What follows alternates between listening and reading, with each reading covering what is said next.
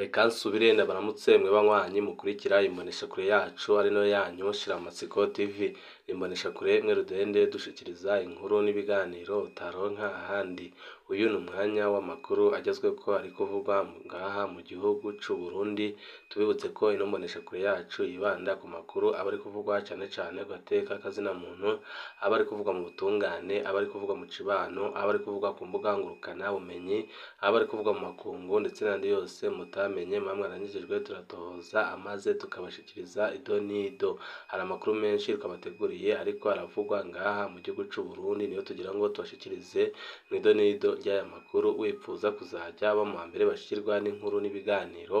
Bene nk'ibi, ico usabwa nta kindi niba utaravyonda kuri sabone aka karyo keza ko guvyondaho kugira ngo ko dushizeho amakuru n'ibiganiro bene nk'ibi uje uba uwa mbere mu gushikirwa navyo. Igitoro ca magendo kirakoze ibara mu ntara ya Gitega aho abantu batatu bahiriye baratokombera uwundi arakomereka bikomeye cane. Abantu batatu barahejeje kwitaba Imana uyundi umwe arakomereka kw'isanganya ry'imoto zibiri zihejeje kubera ku mutumba Kibande zone Kiriba komine Giheta muri kano gatondo ko kuwa kabiri ukwezi kwa k'umunani bibiri na mirongo ibiri na gatatu kw'ibarabara RN cumi na kabiri Gitega Karusi Muyinga. Imoto imwe yava muri Kiriba yari ihetse umuntu afise imandarene, iyava mu gisagara ca Gitega na yo yari ihetse ibido y'igitoro n'ibibuni bitatu. Bamaze kugonga bamaze kugongana haciye haduka umuriro ivyo bitoro bica biraturika abo bantu barasha baratokombera hasigara umuntu umwe muto yari yari yari moto yaguye hejuru hamwe n'ibibido bitatu bitaturitse. Yakomeretse akaba yaciye ajanwa kwa muganga.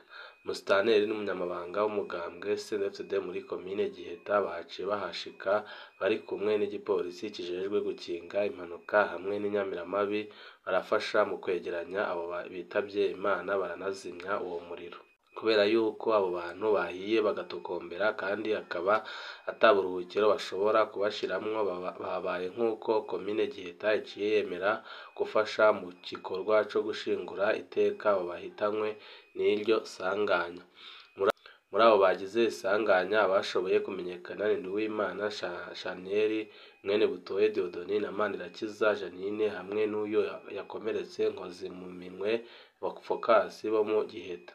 Kubera ko abo bari bafise igitoro bivugwa ko ari abo mu ntara ya Karusi batashoboye no kumenyekana, musitanteri wa komine Giheta Ninahaza Micheline asaba ko abobura ababo boheza bakabashika bakabareba nyene bakabereka aho babashinguye kuko ntaho bari kubashira.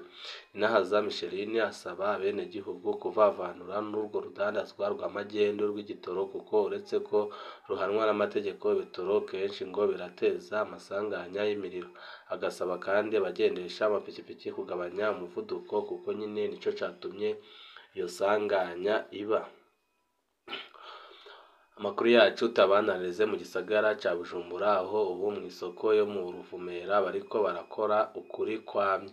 Inyuma yaho kuri uyu wa mbere igenekerezo rya mirongo itatu na rimwe ukwezi kwa karindwi bibiri na mirongo ibiri na gatatu habaye ihagarikwa ry'imirimo ryakozwe n'abadandaza bo mw'isoko ya Ruvumera basaba kugabanurwa amahera basabwe n'ikigo kijejwe gutoza amakori n'amatagisi OBR ku bibanza bakoreramwo ubu basubiriye ku mirimo.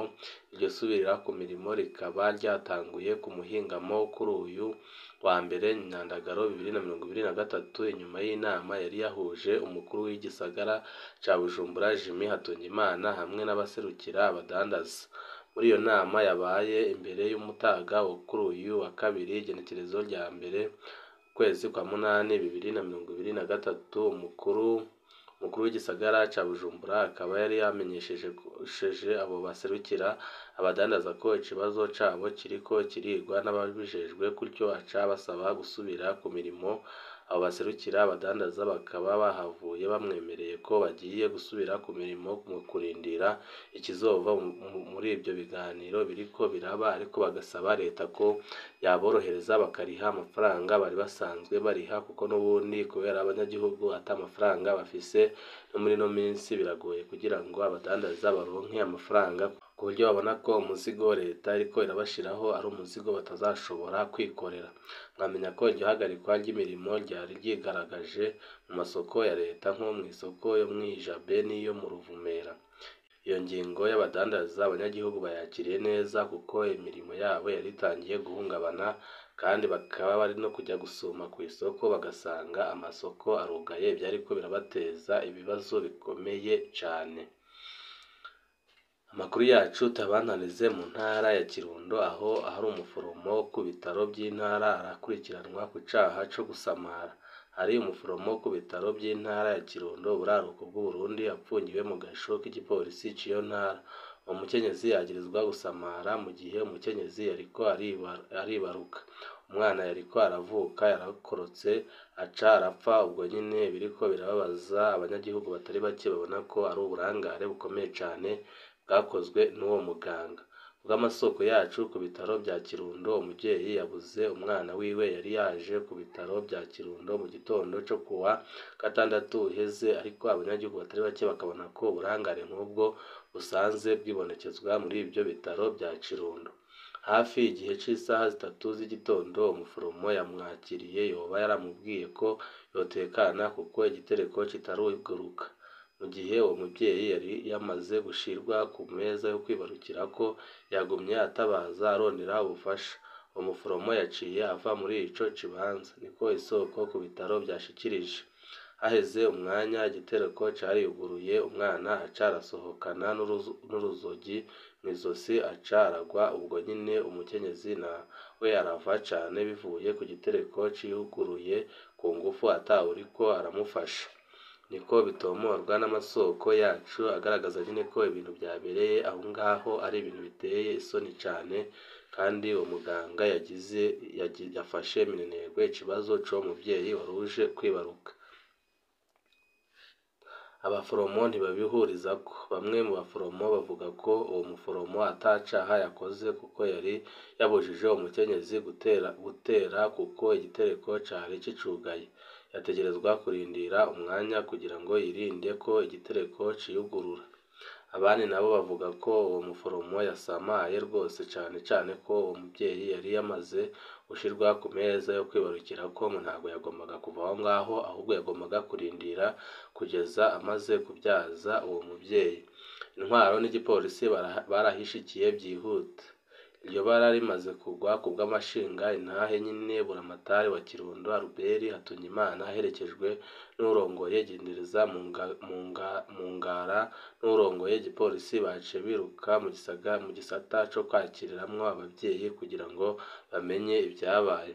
Bidatevye umuforomokazi yaciye yurizwa imodoka imodokari igendereza gushika mu gasho k'igipolisi aho apfungiwe kugeza ubu.